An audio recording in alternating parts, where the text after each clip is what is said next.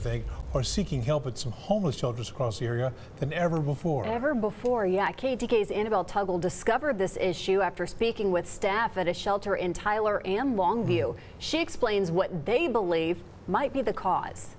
There's lots and lots of causes, um, and we're just trying to help as best we can. Brian Livingston says the Highway 80 rescue mission in Longview has always been dedicated to helping any homeless person that walks through their door. And when the organization was first founded in 1955, that was mainly middle aged men.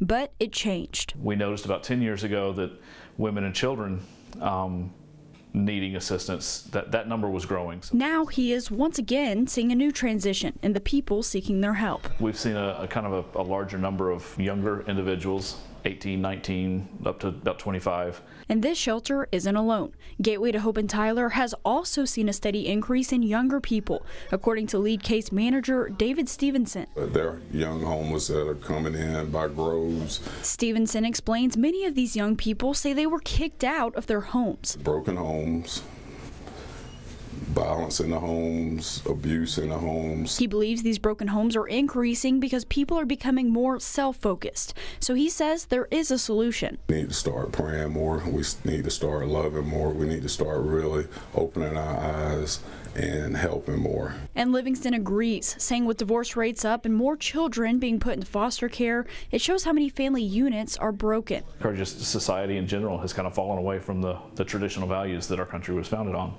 But while both Livingston and Stevenson may speculate why this is happening, they're both focusing on their goal to set up these young adults for success.